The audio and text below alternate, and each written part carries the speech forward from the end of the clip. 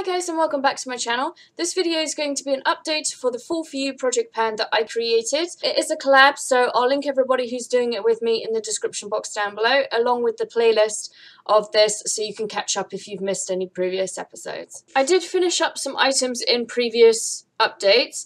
Um, I finished the Philip Kingsley Elasticizer and the Alterna CC Caviar hair leave-in treatment conditioner thing. And I have finished up two items this time round as well. I finished the Avon Magic Effects Molten Metal in gold. I would show you the inside, but oh no, it was just a short malfunction. I don't know if you can see, that's like, there you go, completely empty. Um, I really enjoy these nail polishes. I would consider getting it again. It's kind of like a it's a it's it's like a textured polish. So it's a really really really thin base with no coloration and it's just filled with filled with gold uh, shimmer. And the shimmer is really really tiny but there's loads of it. Um, I don't know if you can see on the back there.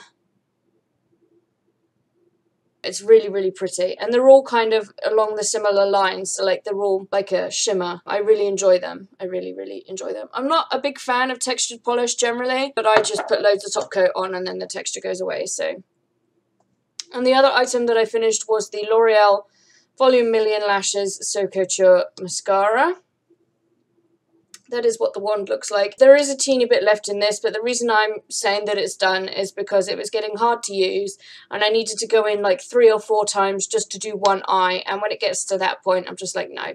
Mascara's not worth it at the end of the day. If you have to work too, too hard for it, you might as well chuck it out, because it has such a short life anyway, that why would you carry on for ages just trying to work with it. So, so those those items. And now for the ones that I haven't finished. Okay, so first things first. Then I have the Urban Decay All Nighter Setting Spray.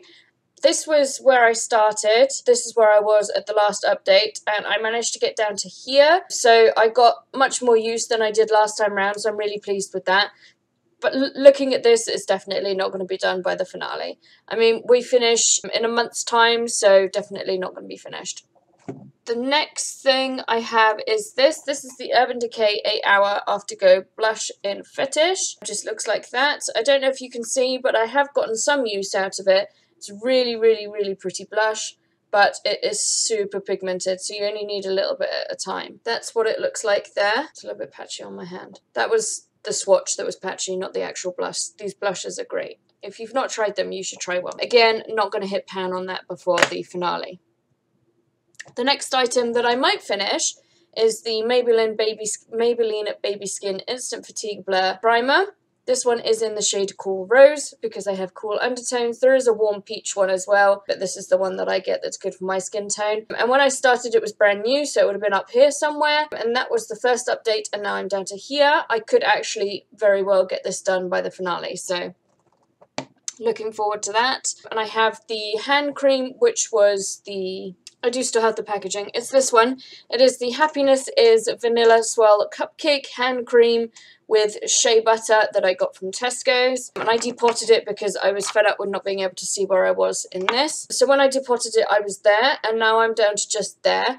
I am a little bit further than this line on one side. It's about here. But because it's higher up on the other side, I kind of went for the average, and that was where about that was about average for the progress. I also have the Avon, uh, this is the Glimmer Stick Eyeliner in Starry Night Blue. That's what that one looks like. I've enjoyed wearing this a lot recently. That's what it looks like. I've been wearing it especially because of my throwing shade. With that, I've had quite a few blue eyeshadows and it works really well with them. So that, you can't see it if I put it because it covers the line, but that's where I am. You can see the line.